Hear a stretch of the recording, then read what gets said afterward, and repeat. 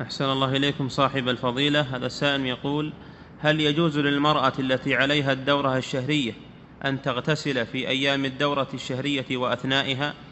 للتبرد ما يخالف.